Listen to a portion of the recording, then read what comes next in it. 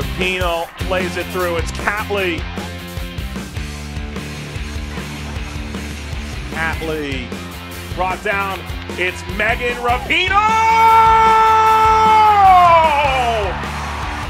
Well, there's nothing that Sheridan can do about this shot. This is just remarkable. Again, Megan Rapinoe just floating in behind. A typical Rapinoe goal.